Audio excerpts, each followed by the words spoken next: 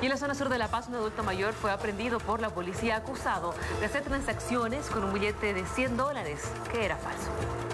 La denuncia surgió cuando el dueño de un negocio de prendas de vestir pretendía convertir a bolivianos un billete de 100 dólares, pero el personal de la casa de cambios a la que acudió detectó que era falso. Esto ocurrió en la calle 21 de San Miguel, en la zona sur. Este es el billete que a mí me han hecho pasar con la misma serie que está haciendo pasar todos los billetes, o sea, ya está en la serie, hay que desconfiar, ¿no? Usan la misma serie para imprimirlo en otros billetes. Sí, es la misma serie que la que está haciendo pasar. Y aquí tenemos las pruebas que es GFC F6. Esas series son las que están haciendo pasar ahora.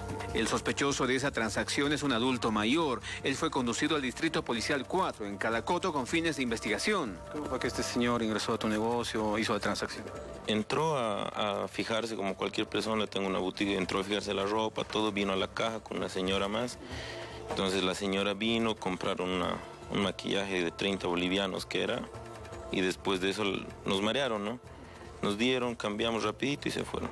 Por el momento, ninguna autoridad policial o fiscal de esa jurisdicción emitió un informe oficial del caso.